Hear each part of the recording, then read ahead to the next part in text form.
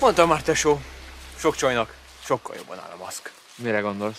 Hiszen most héten utazok a buszon, és észreveszem, hogy szemben, szemben ül velem egy, egy nagyon fullos lány. Egy páratlan szempárral figyelt engem. Szemeztetek? Aha, le se vette rólam a szemét. És nem hiszed el, de ugyanannál a megállónál kellett leszállunk. Mm-hmm. Man, those ending credits. Wow. I feel like I'm going to have nightmares about that. Very visceral. Great job. um, I really liked how this film was set up story wise. Um, how they had the two boys just kind of in their own world, having a great time.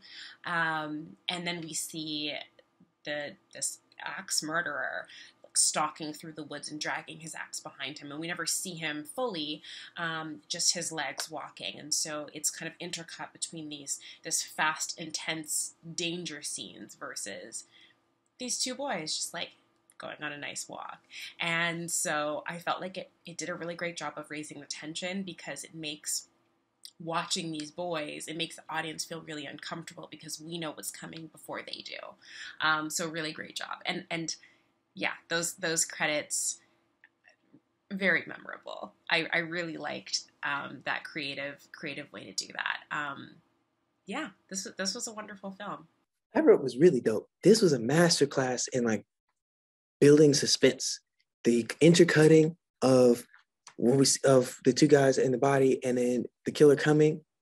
Masterclass in the intercutting to build tension and build and wind that tension, that slow burn, that Alfred Hitchcock this was a masterclass in how to do that well. Also, I really like the cutting on the beat at the end. That was a nice touch.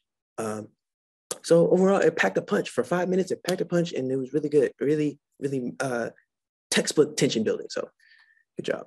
So I really loved High Road. I think you guys, above all, did just an amazing job of capturing suspense.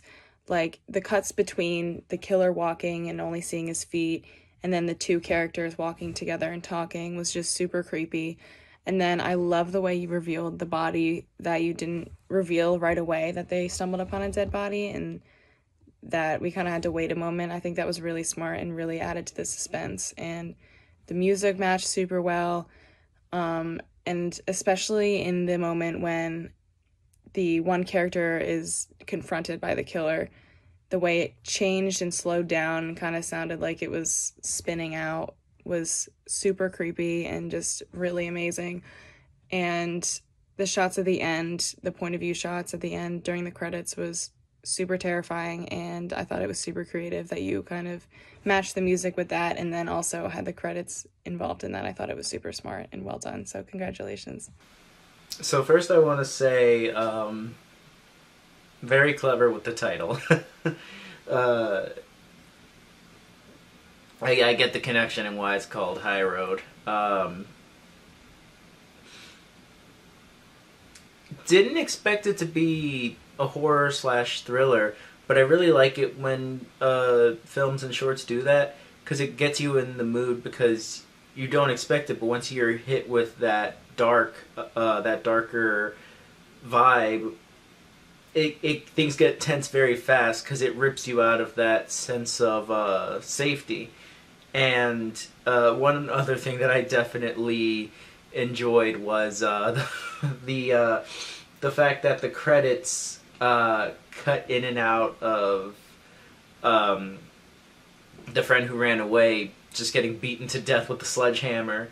Um, kind of as if it's like going in and out of consciousness, but uh, yeah, I thought that was a really uh, neat thing they did for the credits made it very interesting to uh, to watch them all.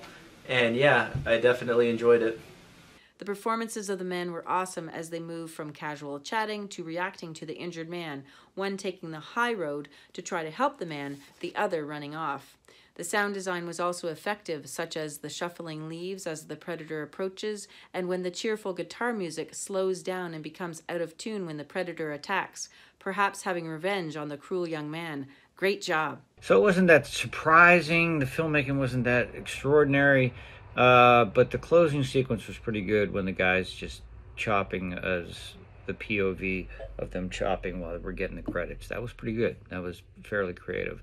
But as a film overall, it just didn't really grab me. There was nothing incredibly fresh in it. Um, that's it. Cheers. I thought that this was really well acted. Not only was it really well acted, it was very well crafted. From the moment this started and how they decided to edit it, going back and forth between your two leading actors, and then you had this gentleman's legs that was dragging an axe behind him, it really started to build up the suspense. And the music helped with that as well. The sound effects towards the end, that steady beeping like a heartbeat monitor that has just died, was, I thought, very, very clever and it really hit home. Um, I loved the twist at the end too. This was this was a great five minute short film